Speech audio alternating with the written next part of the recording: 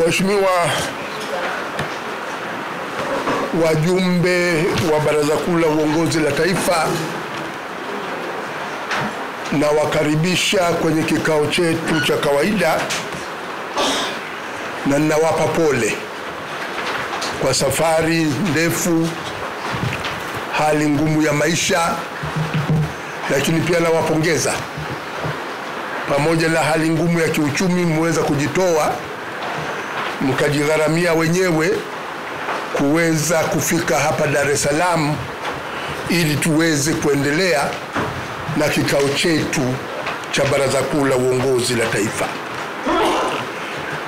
Kikao hiki kinafanyika wakati nchi yetu iko kwenye majaribu makubwa. Sisi kama chama cha siasa tulikuwa wa kwanza kuweza kumpongeza Mama Samia Suluhu Hassan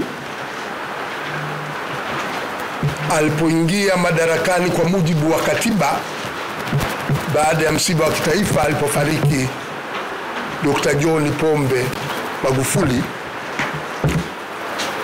na Mama Samia akawa rais wa Jamhuri ya Muungano wa Tanzania. Tarehe mosi Aprili 2021 nilizungumza na waandishi wa habari kwa niaba ya chama cha kafu nikatoa ushauri kwa Rais Samia na baadaye kwenye kikao chetu cha baraza kuu tukakubali kwamba ule ushauri uwe ni ushauri rasmi wa chama cha CUF kwa Rais Samia Suluhu Hassan, na ushauri huu sasa umewekwa kwenye kijitabu ambacho wajumbe mtapata alau nakala.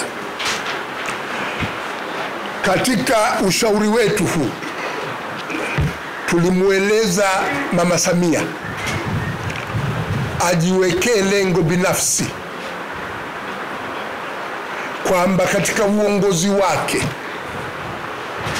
uwe wa miaka minne na nusu au miaka tisa na nusu, kwamba baada ya uongozi wake aweze kufanikiwa kupata tunu ya Mo Ibrahim ambayo inatolewa kwa rais ambaye amemaliza uongozi katika nchi, lakini katika uongozi wake amejenga demokrasia, amejenga kuheshimu haki za binadamu, amejenga uchumi ulioshirikishi unaopunguza umaskini katika nchi. Tulimweleza Mama Samia ana fursa ya kujiwekea lengo hilo bila kulitaja, kwamba ajenge misingi ya demokrasia katika nchi yetu, ajenge utawala bora, apambane na rushwa na ufisadi, ajenge uchumi imara unaoshirikisha wananchi na unaoongeza ajira na kutokomeza umaskini.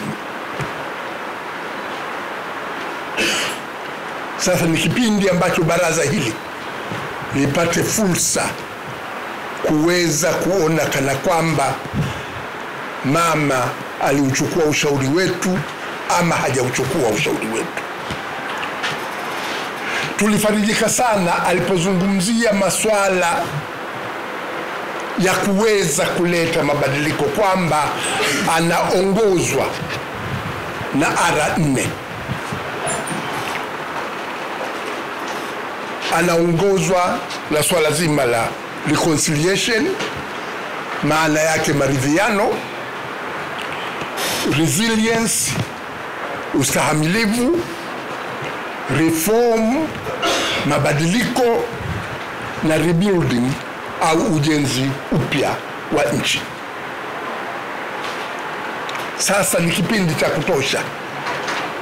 Je, haya zaidi ni maneno au anatembea kwenye maneno hayo kwa kuyatekeleza maneno yake kwa vitendo na kuweka asasi za kuweza kufanikisha malengo haya. Nimesema kwamba tunakutana hapa wakati nchi yetu iko kwenye mtihani mkubwa. Pana swala zima la mkataba wa bandari ambao umezua mjadala, na sisi kama chama na mimi kama msemaji mkuu wa chama niliuzungumzia mkataba ule na nikaliomba bunge liahirishe kuukubali mpaka mjadala wa kina huo umefanyika na mabadiliko katika baadhi ya vifungu kuweza kufanyika ili tuweze kuwa na uhakika kwamba tuna mkataba unaolinda maslahi ya nchi. Katika mkataba huo kuna kifungu nadhani cha 23.4 ambacho kinaeleza kwamba mkataba huu hauwezi kuvunjwa hata kama mahusiano ya nchi yamevunjika, kwamba utaendelea kuwepo hata kama utekelezaji wa mikataba yake unasuasua ama haitekelezwi ipasavyo. Wengine wameelezea kwamba mkataba huu unauza bandari. Serikali imeeleza kwamba hapana, mkataba huu unakodisha uendeshaji wa bandari. Baraza Kuu hili litapata fursa ya kuweza kujadili na kutoa msimamo kuhusu swala hili. Swala hili la, la, la, la bandari tutalijadili, lakini pia kuna Watanzania walilipeleka swala hili mahakamani na hukumu imetolewa. Kwa hiyo hukumu hiyo pia itakuwa sehemu ya mjadala kuweza kulielewa vizuri swala hili, lakini pia kuna watu ambao wamekamatwa na kutuhumiwa tuhuma mbalimbali. Jambo la msingi, wito wa chama chetu ni kwamba haki itendeke na ionekane inatendeka. Kama pana tuhuma zozote, watu wanaotuhumiwa wanapaswa kufikishwa mahakamani ili mahakama ziweze kusikiliza, na kama makosa ni ya dhamana waweze kuwekewa dhamana, na si vyema, na hasa ukizingatia pana tume ya haki ambayo imetolewa imetoa taarifa yake kwamba taratibu zetu za kupata haki zina utata mkubwa. Kwa hiyo watu wawe na haki ya kuweza kupata dhamana. Usimbambachizie kesi mtu kusudi asipate dhamana. Kama pana makosa, makosa hayo yaweze kupelekwa mahakamani ili mahakama ziweze kuamua na watu ambao wanastahiki kupata dhamana waweze kupata dhamana, lakini tusiwabambikizie watu kesi ambao tu kwa sababu tunatofautiana na maoni yao. Kwa hiyo hili pia baraza litapata fursa ya kuweza eh, kujadili. Hali ya maisha limekuwa ngumu, watu wako hoi bin taabani, wengine wanafunga bila kunuia. Kwa sababu ya hali ya maisha ilivyokuwa ngumu. Mfumuko wa bei hususan bei za vyakula unatisha, pamoja na kwamba serikali inaeleza kwamba mfumuko wa bei ni chini ya asilimia tano, lakini hali ya maisha kwa Watanzania bado inakuwa ni ngumu sana. Bei ya mafuta ya petroli naongezeka tena kwa kasi kubwa. Gharama za maisha zimekuwa kubwa. Haya ni mambo ambayo tunapaswa kuyajadili na kutoa ufumbuzi na ushauri na kuweza kuweka mkakati wa namna gani serikali ya CUF itaweza kuyashughulikia katika kujiandaa na sera kuelekea chaguzi za serikali za mitaa na uchaguzi mkuu wa 2025. Baraza kuu hili litajadili sera ya kipato cha msingi kwa kila Mtanzania au kwa Kiingereza inaitwa universal basic income, kwamba tuwe na utaratibu. Wananchi wengi, hali ya maisha ni ngumu, umasikini uliokithiri. Tuweze kuwa na utaratibu wa kutumia rasilimali zetu vizuri, kukusanya mapato ya serikali na kila mtu mzima aweze kupata kipato cha msingi alau cha kuweza kupunguza makali ya maisha. Ukiwa na kipato cha msingi kwa kila Mtanzania, kila Mtanzania atakuwa na ushawishi mkubwa wa kuhakikisha kwamba serikali iliyoko madarakani inatumia vizuri fedha zake za umma, kwamba ubadhirifu unapungua, rushwa inapungua, ufisadi unapungua. Hivi sasa serikali yetu inawatazama zaidi vigogo ndani ya serikali, inatazama zaidi viongozi wakuu wa serikali. Marais wastaafu wanalipwa asilimia themanini ya mshahara wa rais aliyoko madarakani, pamoja na kupewa madereva, kupewa watu wa kutunza bustani, watumishi wa ndani, magari na utaratibu wa kwenda kutibiwa nje. Nakumbuka viongozi wa CCM mwaka 2004 2005 waligawana nyumba za serikali. Wakati ule Mheshimiwa Jakaya Kikwete alikuwa ndio mgombea rasmi wa CCM wa urais.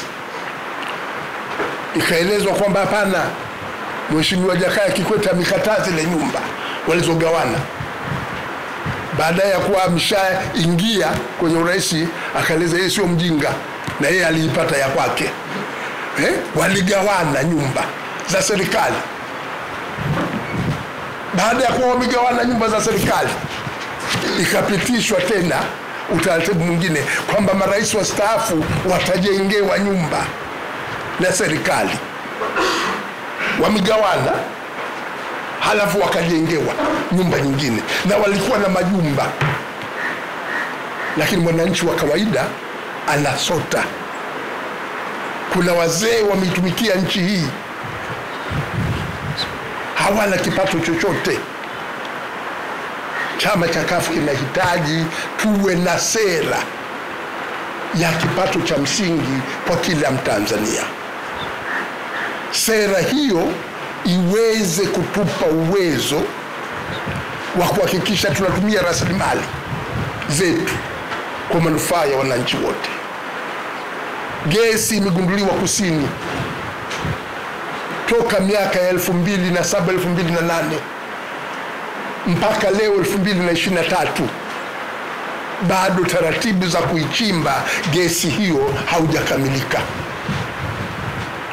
Tuna madini Kabanga niko mpaka leo hatujaanza kuchimba Kabanga niko. Ruangwa kuna graphite hatujaanza kuichimba graphite. Nchi yetu ina rasilimali nyingi, jiografia yetu nayo ni rasilimali. Tumezungukwa na nchi ambazo hazina bandari, lakini bado hatujatumia jiografia yetu kuongeza kipato cha Watanzania. Kwa sera hii itawapa shauku wa Tanzania wa kawaida kuidai serikali itumie vizuri rasilimali zake ili wananchi wa kawaida waweze kunufaika na rasilimali hizo. Ili kuyapata haya, tunahitaji tuweze kuwa na mabadiliko ya msingi. Chama chetu kilishiriki katika mkutano ulioandaliwa na Baraza la Vyama vya Siasa Desemba 2021 tukaja na mapendekezo. Mapendekezo yalikuwa kwamba mchakato wa katiba uweze kukamilishwa kuanzia pale ulipoishia wakati wa mapendekezo ya tume ya Jaji Warioba. Tukapendekeza kwamba panahitajika paweze kuwepo na tume huru ya uchaguzi itakayosimamia uchaguzi wa serikali za mitaa na uchaguzi mkuu, na kwamba mfumo wa tume hiyo tayari ulishaandaliwa ndani ya rasimu ya katiba ya Jaji Warioba, na kwa kweli kwa kiasi kikubwa ulichukuliwa mfumo ule ukawekwa ndani ya katiba inayopendekezwa. Kama pengekuwa na utashi wa kisiasa, tungeweza kuchukua taratibu za utekelezaji, na wakati huu tungekuwa tumeshafikia hatua nzuri. Lakini pamoja na mapendekezo hayo na mapendekezo yaliyoainishwa kwenye kikosi kazi yaliyotolewa Oktoba 2022 bado utekelezaji unasuasua. Sasa hii ni Agosti 2023, tuna miaka miwili tu kabla ya ucha, mchakato wa uchaguzi mkuu wa 2025 kuanza. Kwa kawaida mwezi Agosti ndio uteuzi wa wagombea unafanyika na kampeni huwa zinaanza mwezi wa Agosti. Mnakuwa na kampeni za miezi miwili, kwa hiyo muda umeshakwenda. Sasa katika hali halisi, baraza itabidi tuweze kulijadili hili, tunawezaje tukapata tume huru na taratibu mwafaka za kusimamia uchaguzi wa serikali za mitaa 2024 na uchaguzi mkuu 2025. Hatutaki yale yaliyotokea 2019 na 2020 yakarejewa 2024 na 2025. Masuala haya pia yatajadiliwa. Kituo cha Demokrasia Tanzania kimeandaa mkutano maalum wa kutathmini miaka 30 ya demokrasia Tanzania na kutazama mazingira ambayo yatatuhakikishia tunakuwa na uchaguzi wa demokrasia 2024 na 2025. Mkutano huu utakaoshirikisha vyama vya siasa na wadau mbalimbali utafanyika tarehe 22 na 23 Agosti mwaka huu, na tunategemea katika kituo hiki cha demokrasia, katika mkutano huo ambao katika kipindi hiki chama cha kafu ndio mwenyekiti wa kituo cha demokrasia, tutatoka na mapendekezo mwafaka ya kuweza kuhakikisha kwamba mabadiliko yanakamilishwa mapema ili tuweze kuwa na uchaguzi ulio huru na wa haki. Lakini vile vile baada ya sisi kujadili sera yetu ya kipato cha msingi ni haki ya kila Mtanzania. Sera hii tutaiwasilisha kwenye mkutano wa hadhara utakaofanyika Jumapili tarehe ishirini mwezi huu wa Agosti ambao unaandaliwa na wilaya ya Temeke, tueleze namna chama cha kafu kinajipanga kuweza kupambana na umasikini wa Watanzania na ukosefu wa usalama wa kiuchumi. Watu wanahaha, hawajui chakula chao cha siku watakipata wapi. Ni lazima mambo hayo yabadilike, hasa ukizingatia kwamba nchi yetu ina rasilimali za kutosha, na rasilimali hizo zikitumiwa vizuri, tunaweza tukapambana na kumaliza umasikini wa Watanzania. Na Watanzania wakiwa makini kuhusu rasilimali zao, watakuwa wakali kwa watu wowote wale ambao wanazitumia rasilimali zao kifisadi. Lakini vile vile ni lazima baraza kuu hili liweze kujadili matatizo ya muda mrefu, mabadiliko ya tabia nchi yanavyoathiri hali halisi ya nchi yetu. Tayari tumefahamishwa kwamba mwaka huu huenda tukawa na mvua za El Nino, kwamba patakuwa na mvua kubwa katika kanda za pwani na Tanzania kwa ujumla, inatarajiwa hivyo. Basi lazima serikali iweze kujipanga. Kuna wakati hapa mafuriko yametokea mikoa ya kusini, mkoa wa Lindi, kwa sababu serikali imekuwa haijajipanga, tumeathirika sana. Kwa kuwa utabiri huu tayari umeshatolewa, lazima tuitake serikali iweze kujipanga ikiwa patakuwa na hali mbaya ya mvua kama inavyotabiriwa na wataalamu wa mambo ya hali ya hewa, basi tuweze kujipanga kuepuka maafa yanayoweza kutokana na mvua nyingi. Kwa hiyo Baraza Kuu lina kazi kubwa ya kuweza kuyajadili haya, kujadili hali ya kisiasa nchini, kujadili hali ya kiuchumi nchini na kuweza kutoa mapendekezo muafaka wa namna ya kuyashughulikia masuala haya, na vile vile kuweza kutoa mwongozo wa namna ya kuweza kujiandaa katika swala zima la kuiweka vizuri hii sera yetu ya haki sawa kwa wananchi wote, na hususan kipato cha msingi ni haki ya kila Mtanzania. Tuna kazi kubwa, tuna kazi muhimu, inatubidi tuweze kujadili kidemokrasia kwa wazi mambo ya msingi yanayoikabili nchi yetu. Ndugu zangu wajumbe wa Baraza Kuu, baada ya kusema haya machache, natamka kwamba kikao chetu cha Baraza Kuu cha la uongozi wa taifa nimekifungua rasmi, tuweze kuendelea na ajenda. Asanteni. Huu ndio mwisho wa matatizo yako. Q7 ni asari ya maajabu na ni chocolate pia kutokea falme za Kiarabu nchini Uturuki. Msaada mkubwa kwa wewe mwanaume unayeshindwa kumaliza haraka tendo la ndoa na kushindwa kurudia tena.